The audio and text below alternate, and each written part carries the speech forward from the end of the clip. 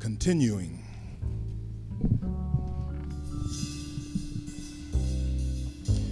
Like air slowly sucked out of a room, my coming to awareness. Don't know until you're too weak to do anything about it. Uh, where you live and how much money you make or take, uh, if you talk proper, jive, or gullah if you process your hair, whether your car is American made, your heritage is mono or mixed, who you're married to doesn't matter either. As we manage to mangle ourselves about miscegenation, as we stereotype the sisters, sex piece seeking a pedestal, Queen's Gambit decline, the lie can die right now, just ask Justice Thomas. Although every sum has to have a body, has to have one, even a thing, some way, somehow, somewhere, sometime. If you want to fool yourself, that's okay, but don't mess with my mind, ex post factoid. No victim here and no volunteer. No sob story after delusions, just a bitter pill to swallow, uh, like most meaningful medicine. Living in America, hard for folks who relate to black. If you live like you know something black, if you live like you know black, like you know where it came from, black, know African culture biblically and biographically black, even if you ain't got nothing else, no roots, no nothing, black, live like you know the true nature of the music, black, of your ancestors. It is not cacophony, black Walk, just a hop, skip, and jump away from dance. Black, like your mind is still inside your body. Black, talk like you really do have something to say. Black, or nothing at all, just facking. Black. And there is something kind of authentic about the ever changing definition of that state of being. Black. For empty lives in this country with its rarefied, stratified, Hollywood airs, liberally laced with OJ.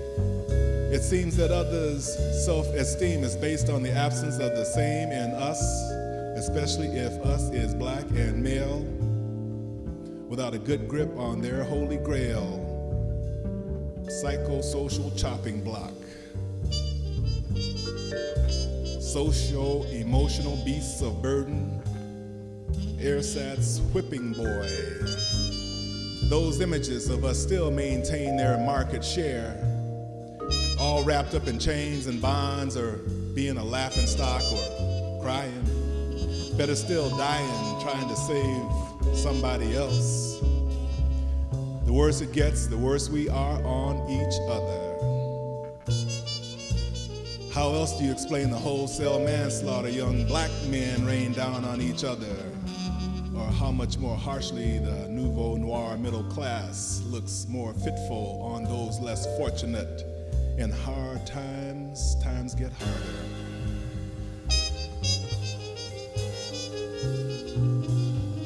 No justice for us, not even from us. Sartre must have stolen his ideas from a black man. Wouldn't be the first time. No exit, just waiting for the green light.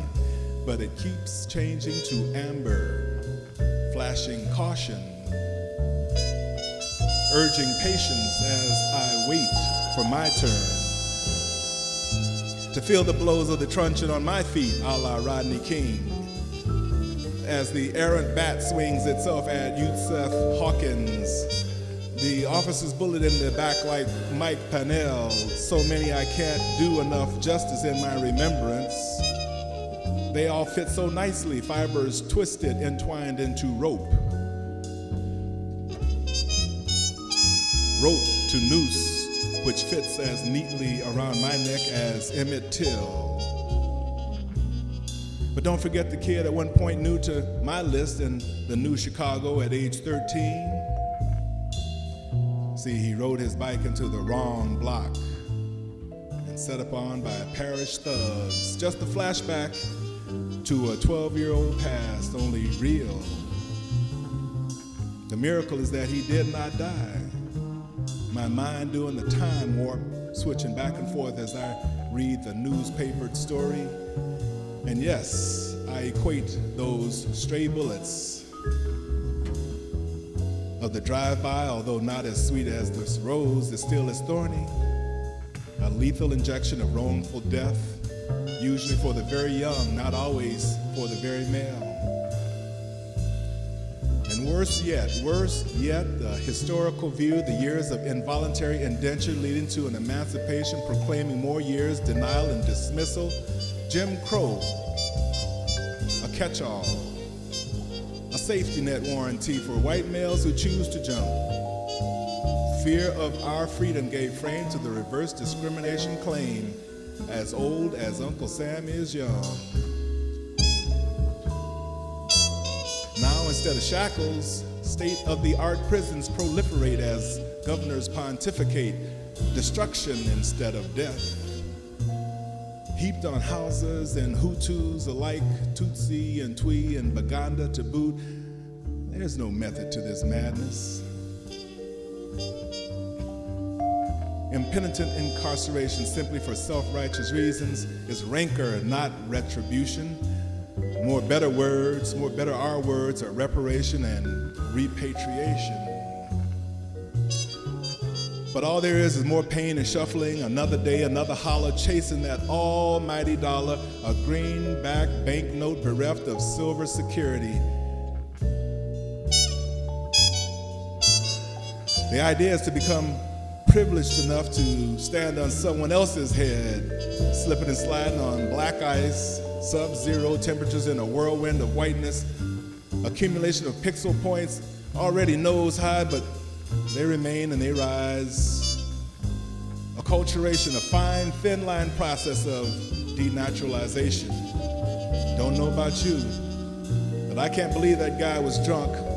Ran down proud professor and poet McLean in the road could easily claim, and in fact did, that he was colorblind and blind drunk. Somehow, he did not see this black man jogging, usually in white. Kept on driving drunk to another disaster of his making, a more colossal collision, sinew and hair follicles from his earlier debacle a toe, fresh from his escape through loopholes in the law. Purportedly designed to derail him, but as now revealed, was for his benefit. Can you believe that the police can't make a case against the perpetrator that hit and ran down young Mr. Britt, who loves big country, curly lookalikes, and jazz in Utah? They got the car, they got the evidence, but no driver. Same story over and over. And now Abner Louima lays lacerated in a bed. Try as I might, names new and old escape my scrutiny, my determination to deprive Americana of its privilege of ignorance. One sad story after the other, this parade of personalities can never be decisive, only revised, modernized. So here I sit, rewriting, waiting for my turn, watching for the small print, the article that is printed while deftly tucked away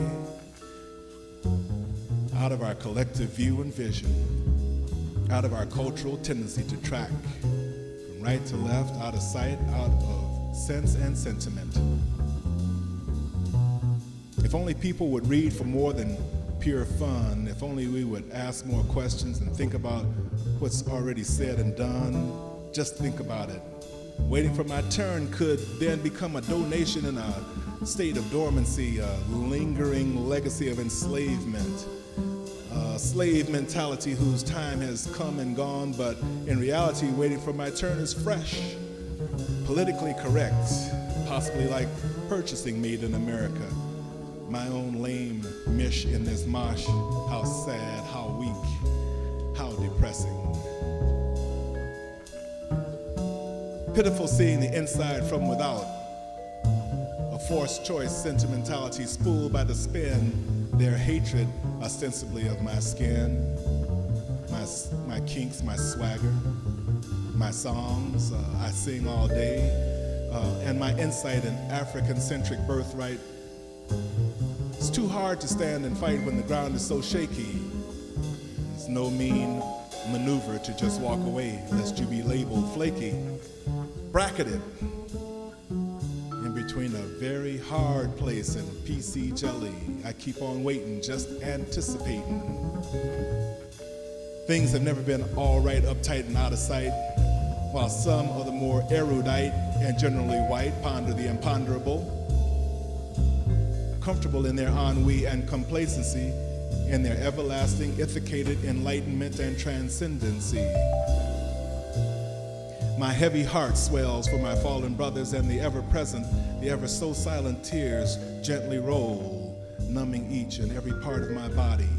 They can reach, stilling them, stealing them, stealing them, knowing that the inevitable has already happened, hoping that it is true, that it is strength to survive in spite. So I continue to wait and update